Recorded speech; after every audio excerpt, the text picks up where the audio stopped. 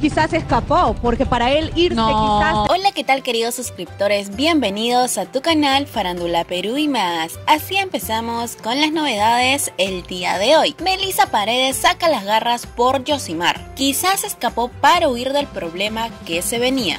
El regreso de Melissa Paredes a América Hoy ha generado más de una crítica, luego de su lamentable comentario contra María Fe Saldaña, quien se encuentra embarazada. Ahora resulta que la presentadora se tomó unos minutos para defender al rey de la salsa perucha, Josimar. Ante esto, sus compañeras de trabajo, Ethel Pozo y Janet Barbosa, discreparon con Melissa Paredes. Escuchemos a continuación lo que se dijo en América Hoy. y por eso quizás, quizás escapó, porque para él ir quizás de viaje y hacer todo lo que está haciendo ahora es huir del problema que según él veía.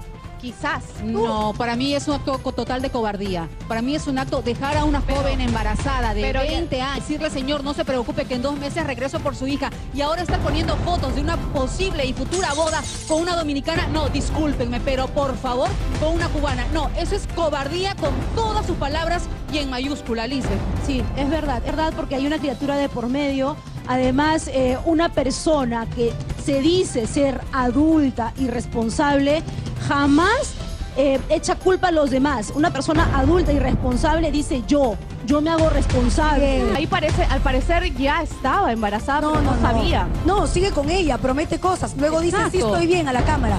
Y yo estoy totalmente de acuerdo y apoyo a María Fe y todo, pero también yo creo que hay que tratar tanto al hombre como a la mujer de la misma manera en, en estos casos. Ahora le diremos la abogada de Yosimar. Al ver que se le venía un problema, él huyó. No, pues Melissa, ¿de qué estamos hablando entonces? Hoy embarazan a alguien, el chico se va y punto final. Pues Melissa, hay que tener un poco de coherencia al hablar de estos temas, ya que estos temas es súper delicado. ¿Y ustedes qué opinan de este comentario de Melissa Paredes? ¿Realmente está bien que Melissa Paredes defienda a Yosimar a capa y espada? Déjenme su opinión en la cajita de los comentarios y no olviden de suscribirse y activar la campanita para más información. Nos vemos en una próxima edición de Farándula Perú y más.